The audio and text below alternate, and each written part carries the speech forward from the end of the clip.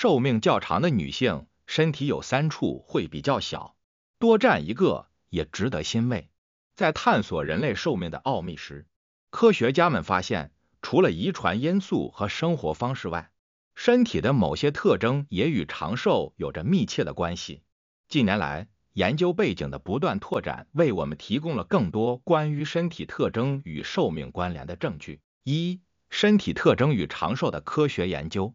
科学研究显示，某些身体特征的大小与人们的健康状况以及预期寿命有关。例如，较小的腰围通常与较低的心血管疾病风险相关，而适中的 BMI 则与较低的代谢疾病风险相关。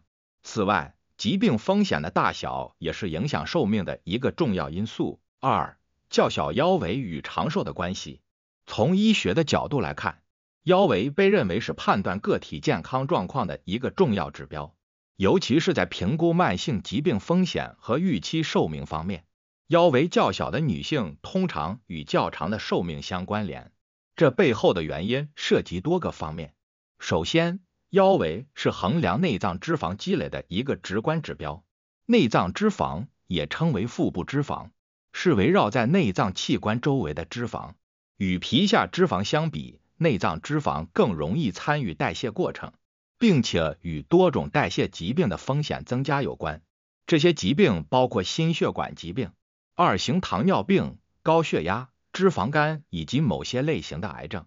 因此，腰围较小通常意味着内脏脂肪较少，从而降低了这些疾病的风险。其次，内脏脂肪的积累与身体的炎症反应有关。研究表明。内脏脂肪可以产生炎症因子，这些因子会促进慢性炎症的发生。慢性炎症被认为是多种慢性疾病发展的关键因素，因此腰围较小的个体可能有更低的慢性炎症水平，这有助于维持身体健康和延长寿命。再者，腰围作为评估代谢综合征的标准之一，代谢综合征是一组危险因素的集合，包括高血糖。高血压、异常的胆固醇水平和高三酰甘油水平，这些因素共同增加了心血管疾病和糖尿病的风险。较小的腰围通常意味着较低的代谢综合征发生率，从而有助于提高生活质量和寿命。最后，腰围还与生活方式密切相关。一般而言，腰围较小的女性可能更注重健康饮食和规律运动。这些健康行为本身就与长寿相关。此外，健康的生活方式有助于维持正常的激素水平和身体机能，这也是长寿的重要因素。总的来说，腰围较小的女性通常具有较低的内脏脂肪和慢性疾病风险、较低的慢性炎症水平以及更健康的生活方式。这些因素共同作用可能有助于延长寿命。然而，需要注意的是。长寿是一个复杂的多因素过程，腰围只是其中的一个因素，其他因素如遗传、社会经济状态、心理健康等也在其中扮演重要角色。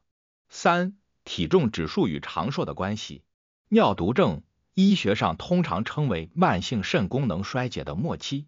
是一种由于肾脏严重受损，导致其清除体内代谢废物和多余液体的能力显著下降的病理状态。这种情况下，血液中的毒素如尿素、肌酐等和电解质失衡会累积，影响多个身体系统，从而引发一系列症状和并发症。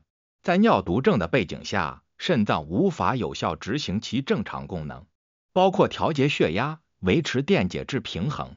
产生红细胞生成素负责刺激红细胞的产生，以及激活维生素 D，有助于维持骨骼健康。因此，尿毒症患者会出现如高血压、贫血、骨质疏松、酸碱平衡失调、水肿等问题。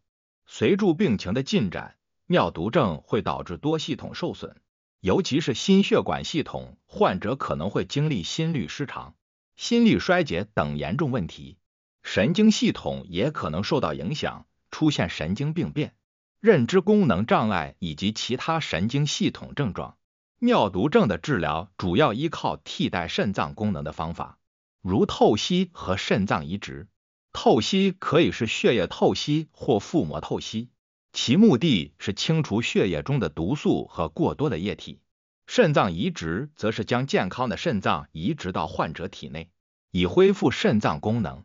尿毒症的预防和早期治疗至关重要，包括控制血压和血糖，保持健康的生活方式，避免药物对肾脏的潜在损害，以及定期进行肾功能检查。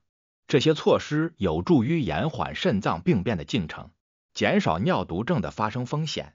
四、疾病风险的大小与长寿的关系。慢性疾病如心血管疾病、糖尿病和癌症。是影响寿命的重要因素。通过健康的生活方式，包括均衡饮食、规律运动、戒烟和限酒，可以显著降低这些疾病的风险。此外，定期进行体检也是预防疾病和早期发现问题的关键。五、长寿女性的生活方式。长寿女性的生活方式通常包括以下几个方面：健康的饮食习惯，如摄入足够的水果、蔬菜和全谷物。